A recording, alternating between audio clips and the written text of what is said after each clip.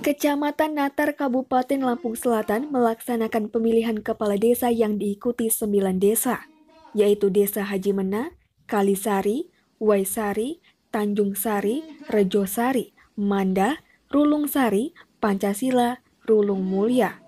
Hasilnya tiga incumbent yakni di Desa Kalisari, Pancasila, dan Rejo Sari menang. Menurut Randy sebagai camat Natar mengatakan kegiatan pilkades ini berjalan sukses, aman, dan damai. Serta Randy mengucapkan selamat kepada peserta yang menang dan kepada peserta yang lain tetap bersinergi dan tetap menjunjung niatan yang baik untuk bersama membangun desa.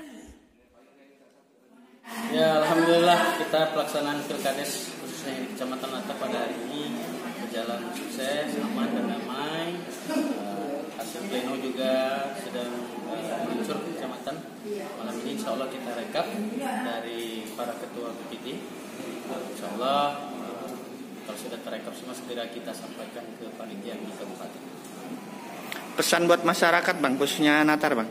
Ya, kepada seluruh masyarakat, alhamdulillah hasilnya eh, pada hari ini walaupun nanti belum ditetapkan, eh, pleno sudah ada di tiap desa eh, kepada eh, para warga tetap dalam kondisi yang kondisi siapa pun nanti yang eh, ditetapkan eh, itulah nanti menjadi pemimpin di desa masing-masing dan harus diikuti segala programnya background juga dengan pemerintah kabupaten, pemerintah provinsi dan pemerintah pusat.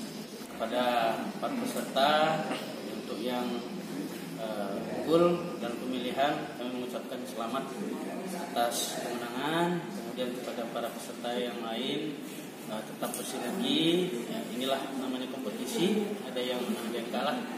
Tapi pada intinya niatannya yang terbaik karena keinginan para calon kepala desa tentunya untuk membangun desa. Dari Lampung Selatan Lampung, Ahmad Hidayat, TV.